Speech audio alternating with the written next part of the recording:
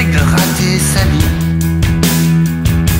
Les leviers dans la carcasse d'un demi-fumiste et le cul dans celle d'un demi-champion